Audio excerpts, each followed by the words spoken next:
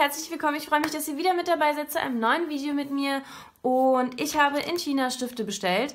Überhaupt nicht teuer, die waren ziemlich günstig. Ich habe die selber so auch noch nicht an der Hand gehabt.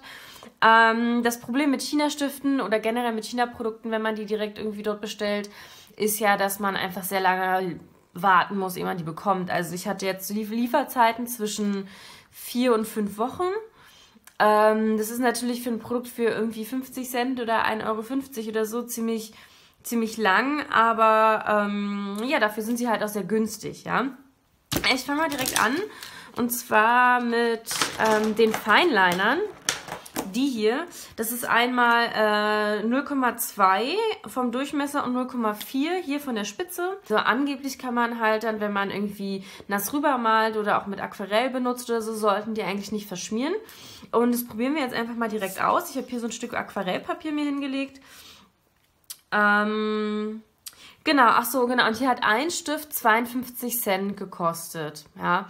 Ähm, was halt ziemlich günstig ist, so für Feinliner, ja. Wenn man sich überlegt, dass Markenprodukte ja dann doch irgendwie deutlich teurer sind. Ähm, und ihr habt einfach auch viele verschiedene Strichstärken. Das ist halt wichtig. Ne? Also ihr könnt die auch noch 0,1 und 0,05 kaufen. Ihr könnt die auch im Pack kaufen, dass ihr dann verschiedene Strichstärken irgendwie, also acht Stifte in acht verschiedenen Strichstärken habt. Ich habe mir jetzt nur die zwei geholt, weil ich nicht so mega viel mit Feinlinern arbeite. Ähm, genau, und da legen wir gleich mal los. Äh, ich probiere mal hier erst die 0,2 aus. Der ist auch wirklich schön, richtig schön schmal.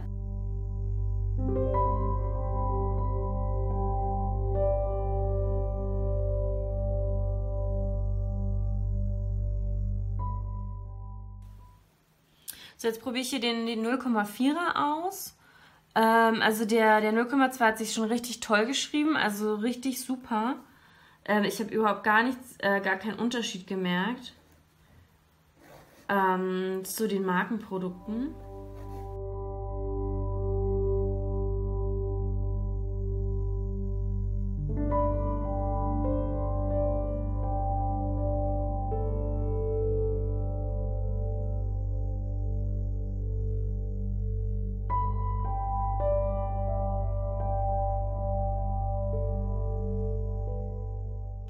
Und wie gesagt, die heißen ja Water Resistant und ich habe jetzt hier so ein bisschen Aquarellfarbe mir auf den Pinsel gemacht. Ähm, das hier ist schon angetrocknet, das verschmiert auch nicht mehr, das ist super. Äh, also auch für Linkshänder richtig gut, weil Linkshänder ja besonders äh, mit Verschmieren Probleme haben, wenn sie dann mit der linken Hand arbeiten und direkt rüber wischen. Und ich probiere das jetzt hier einfach mal aus. Das sieht aber sehr, sehr gut aus.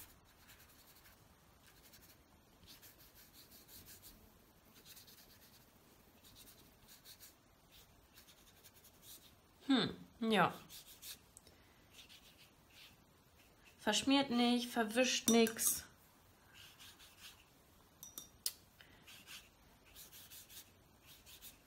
Kann man auch ganz, ganz toll für ähm, Mixed Media benutzen dann. Ähm, schon cool. Und für 52 Cent, also kann man halt echt nichts falsch machen, ne? Kann man nicht meckern. Und ich finde halt auch, ähm, die Kappe auch, ich weiß nicht, ob ihr das auch kennt, aber es gibt manchmal irgendwie so, wenn man so Kappen rauf macht, das fühlt sich irgendwie nicht so fest an und dann hat man das Gefühl, dass die Kappe runtergeht. Und das Problem ist ja, wenn die Kappe abgeht, wenn man die Stifte zum Beispiel transportiert, dann trocknen die ja einfach aus. Und das ist bei denen gar nicht. Also die klicken hier richtig schön rein, die sind, die sind fest und die sind wirklich sehr, sehr schön schwarz und auch einfach water resistant. Das hat man ja bei ganz vielen Feinlinern nicht äh, oder beziehungsweise man muss da einfach immer raufschauen, ne? dass die halt wirklich äh, wasserfest sind und dann nicht verschmieren. Ja, das dazu, ich lasse mal das Aquarellpapier gleich hier, weil ich habe nämlich noch hier äh, solche Stifte mir geholt und da stand dazu, diese Buntstifte, dass die, dass das eigentlich Aquarellbuntstifte sind. Ich bin mir nicht ganz so sicher, ehrlich gesagt. Also ich, ich zweifle wirklich ein bisschen.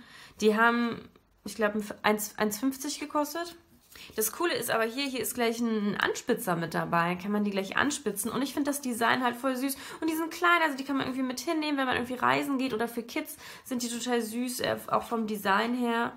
Ähm ja, ich finde die echt, echt süß. Also hier steht produced und designed in Korea. Also es ist kein China-Produkt, es ist ein koreanisches Produkt. Äh, aber wie gesagt, angeblich sollen das äh, äh, Aquarellbuntstifte sein. Ich probiere das jetzt einfach mal aus.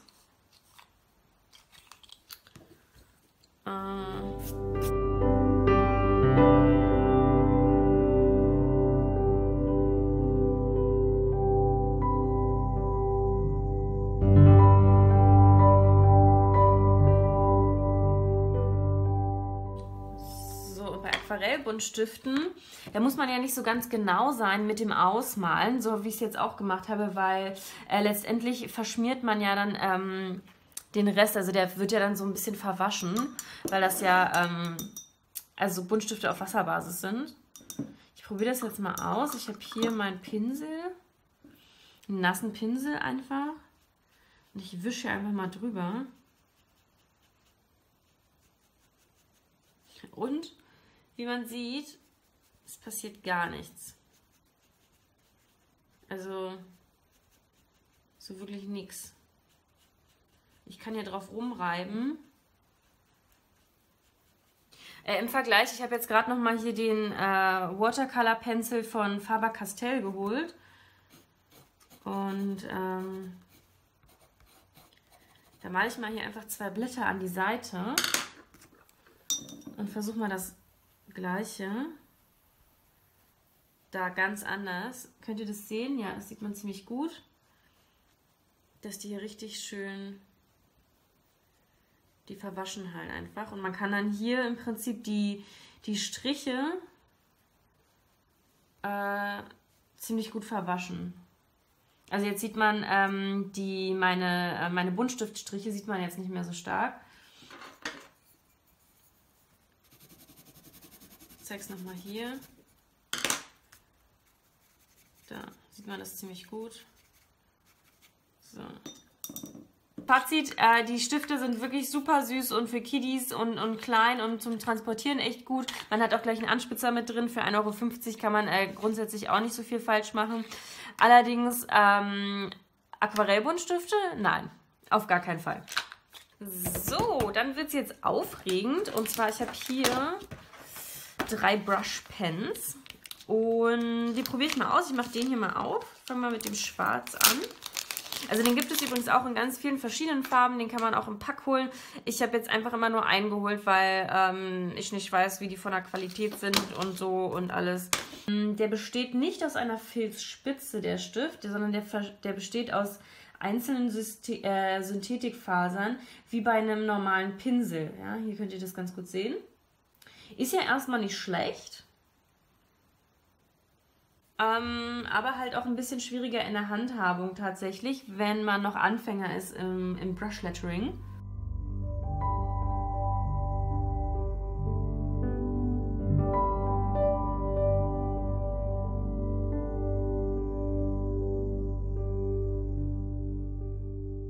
Also die Kontrolle über so ein Brushpen mit einzelnen Synthetikfasern ist natürlich deutlich schwerer. Äh, aber ich finde den Effekt sehr, sehr cool. Ich mag das ganz gern, wenn man auch mal so ein bisschen äh, so einen Brushing-Style hat und hier einfach, hier so kann man dann nämlich solche Sachen kreieren, ähm, dass die Farbe halt ungleichmäßig abgegeben wird. Und ähm, das gibt nochmal so einen rawen Look einfach. Deswegen, also cool, hat glaube ich irgendwie 1 Euro gekostet, der Stift. Äh, die Links äh, zu den Produkten, die packe ich euch übrigens alle auch äh, rein in die Infobox die, ich bekomme da kein, kein Geld für, dass ich das mache oder so. Ja, ich habe mir die einfach nur, das ist wirklich nur für mich so ein Test. Ich habe die Produkte bestellt. Äh, wirklich kann man auch mit günstigen Sachen ähm, Brush Lettering machen oder günstige Stifte taugen die was. Und der taugt auf jeden Fall was. Äh, wie gesagt, ihr solltet euch bloß sicher sein, für Anfänger mit einzelnen Pinselfasern, also Synthetikfasern, ist halt ein bisschen schwieriger. Bei dem Stift war es tatsächlich so, also ich bin mal gespannt, wie der jetzt äh, reagiert, dieser Stift, weil ich habe den in so einer Packung bekommen und der Stift war so ein bisschen auf. Also so habe ich den bekommen. Ich hatte gleich so Bedenken, oh mein Gott, also nicht, dass der irgendwie angefangen ist auszutrocknen. Ich habe dann die Kappe einfach so rauf gemacht und habe ihn beiseite gelegt. Also ich habe ihn bisher noch nicht ausprobiert. Aber ich habe so ein bisschen meine Bedenken, weil die Kappe nicht richtig drauf war, als ich den geschickt bekommen habe. Okay. Also der wirkt ziemlich trocken. Und das ist eine Filzspitze. Ja? Und die ist so ein bisschen länglicher. Also die ist länglicher als, äh, sage ich mal, Markenstifte äh, zum Beispiel aus Deutschland. Den Edding Brush Pen, den mache ich mal hier im Vergleich. Der ist so ein bisschen kegelförmiger, der Edding Brush Pen, den kann man hier sehen. Der wird äh, nach unten hin äh, zum Stiftende, wird ja nämlich dicker und ist dann aber vorne auch dünn. Und der hier ist einfach ein bisschen schmaler. Ja, ja, ob das gut oder schlecht ist, das will ich hier gar nicht beurteilen. Das muss man halt ausprobieren. Sind beide flexibel. Äh, den Edding packe ich mal wieder weg. Und hier kann man auf jeden Fall sehen, äh, beim Schreiben ist die Pinselspitze sehr flexibel. Das Problem ist bloß, dass hier keine Tinte mehr drin ist, keine Farbe mehr. Der ist einfach ausgetrocknet. Das ist echt ein bisschen mies, ne? Ja, weil wirklich, ich habe den geliefert bekommen und die Kappe saß nicht richtig drauf. Also hier äh, absoluter Fail. Das liegt ja aber tatsächlich einfach daran, dass er ausgetrocknet ist und ich kann ihn nicht wirklich testen, wie gut er schreibt, einfach weil hier kaum noch Farbe drin ist. Deswegen weg damit. Aber ich habe ja noch den hier und da bin ich ganz aufgeregt, wie der so sein wird, weil ich den schon bei einigen mal gesehen habe. Den habe ich aber selber noch nicht geholt. Und der hat 1,50 Euro gekostet, dieser Brush Pen. Ja, ich finde, der sieht ein bisschen cheesy aus, hier so mit dem Gold und ist ein bisschen too much für mich, ja. Also ist so ein bisschen, aber hat auch irgendwie wieder was, ja. Also so ein richtiger Kalligrafie, so ein chinesischer Kalligrafiestift. Und es gibt hier zwei Seiten. Es gibt einmal, ah ja, das ist ein, das ist ein kleiner Brushpen. Die sieht aus wie bei den Pentel Touch oder beziehungsweise bei den äh, Tombow Fudenosuke. Ja, ist eine kleine, kleine Spitze, die probiere ich direkt mal aus.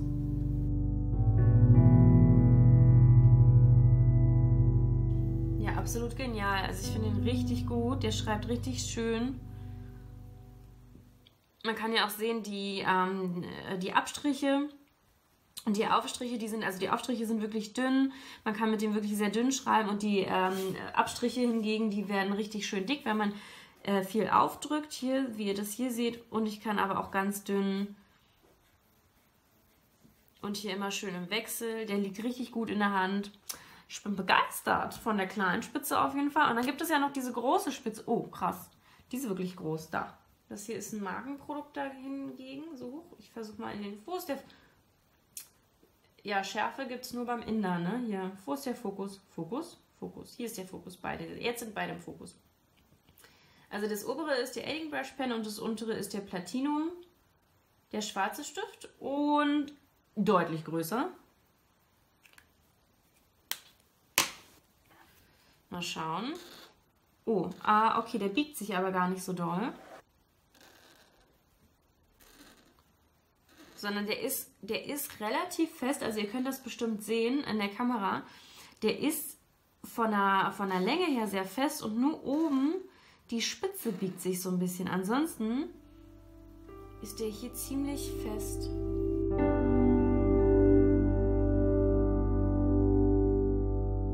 Sehr, sehr cool. Also echt für den Preis, muss ich ganz ehrlich sagen, bekommt man äh, zwei Brushpens in einem mit unterschiedlichen äh, Pinselspitzen.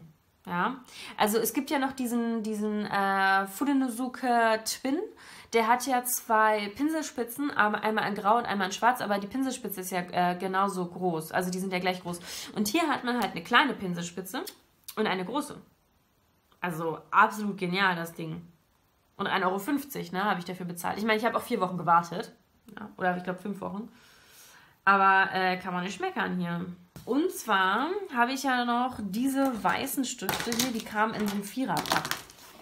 Und ähm, ich weiß, ganz viele von euch suchen ja auch ganz gerne mal weiße Stifte. Das Pendant ist ja so ein Gelroller, den ja jeder kennt wahrscheinlich. Ähm, diese weißen Gelroller, die haben aber manchmal das Problem, dass die vorne an der Spitze verkleben und dann sehr ungleichmäßig die weiße Farbe auf das Papier geben. Also ich habe schon einige ausprobiert. Ich habe günstige ausprobiert, ich habe teure ausprobiert super nervig manchmal. Äh, und ich habe mir jetzt einfach nochmal die bestellt. Die haben, glaube ich, 1 Euro gekostet, das Viererpack. Und einen davon probiere ich mal aus. Auf meinem schwarzen Papier. Wieder äh, hier von der, also hier von der Optik, ne, seht ihr, ist natürlich ein bisschen kindermäßig. Ne? Also hier sind irgendwelche Teddybären und Engelchen und so drauf. Also ja, ganz süß. Ähm, die Spitze ist übrigens 0,8. Steht hier drauf. Tada!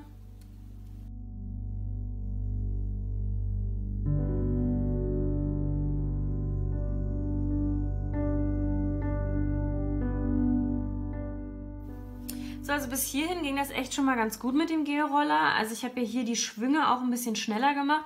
Da finde ich, hakt es bei mir jedenfalls zum Beispiel, wenn ich andere weiße Gelroller verwende. Sobald ich dann ein bisschen schneller in der Bewegung bin im Schreiben, ähm, wird dann die Farbe gar nicht mehr abgegeben. Und wenn ich langsamer schreibe, dann gibt er ganz viel Farbe ab und dann wirkt das sehr ungleichmäßig. Hier finde ich es relativ gleichmäßig. Also ich merke tatsächlich, dass die Farbe auch nicht ganz 100% gleichmäßig abgegeben wird, aber ich finde, im Schriftbild sieht man das nicht. Nur wenn man wirklich ganz nah rangeht und vom Gefühl her. Und dann eine große Sache finde ich jedenfalls bei Faux-Kalligraphie mit dem weißen Stift. Wenn ich jetzt hier meinen zweiten Bogen ansetze und dann noch zwei oder dreimal über meine weiße Farbe drüber gehe normalerweise, dann malt er das nicht aus, sondern dann hebt er dann die die erste Schicht weiße Farbe irgendwie ab und gibt dann aber nicht mehr ab. Also ich weiß nicht, ob ihr das auch kennt. Jedenfalls ist es dann, sieht das dann ganz oft ausgekratzt aus. Und hier finde ich, ähm, geht es voll. Also der gibt hier trotzdem die weiße Farbe ab, obwohl ich hier ein paar Mal rüber gehe. Und er hinterlässt wenig Spuren. Also man sieht es schon, dass es nicht komplett äh, gleichmäßig ausgefüllt ist. Aber ich finde es bei weitem besser als äh, andere Gelroller, die ich äh, schon ausprobiert habe. Und bin eigentlich ganz happy. Hier im Vergleich, das ist auch ein günstiger Gelroller. Auch in weiß. So, und wir haben hier einfach das Problem, dass die Farbe sich erstmal so eingrooven muss. Ja, also der hat auch gelegen.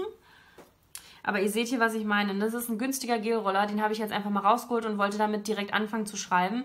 Funktioniert gar nicht. Der sieht mega, mega blass aus. Also im Gegensatz zu dem hier. Wirklich richtig schlecht, finde ich. Also von der weißen Farbe her seht ihr jetzt hier ganz gut den Unterschied. So, ich will jetzt den weißen äh, Gelroller noch einmal ganz kurz auf Kraftpapier ausprobieren, wie das wohl aussieht.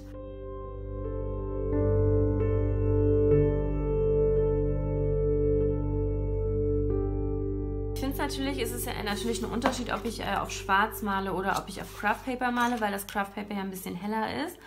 Ähm, ich finde aber trotzdem, dass man das Weiß ziemlich gut sehen kann. Und ich kann jetzt hier natürlich auch nochmal ein bisschen nachziehen. Aber wenn ich sage, ich möchte vielleicht noch ein bisschen mehr Faux-Kalligrafie reinmachen mit dem Stift und meine Abstriche einfach noch betonen, dann kann ich hier noch ein bisschen mehr ein bisschen mehr die Buchstaben betonen. Ähm, ja, das läuft ziemlich gut. Also ich finde, ich find, das sieht ziemlich gut aus. Und jetzt im Vergleich nochmal ganz kurz den äh, günstigen 1 Euro Stift.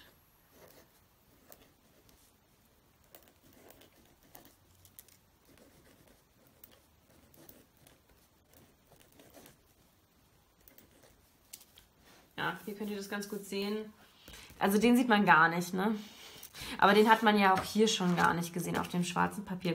Also verwundert uns das natürlich nicht mehr. Ich wollte nur noch einmal äh, sehen, wie es wirklich auf dem Craft Paper aussieht, weil auf Craft Paper sieht es natürlich auch immer richtig gut aus, wenn man mit weißer Farbe draufschreibt, anstatt irgendwie mit mit schwarzer Farbe und ähm, deswegen so sieht es aus. Dann habt ihr es schon mal gesehen.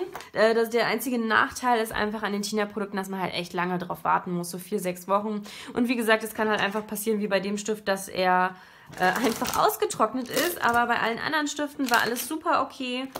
Ähm, und also ich muss halt auch echt sagen, die weißen Stifte waren super. Der hier ist mega, mega toll. Also ich bin so begeistert von dem. Die weißen Stifte und die Feinliner, die sind richtig super. Äh, für den Preis kann man absolut nichts sagen.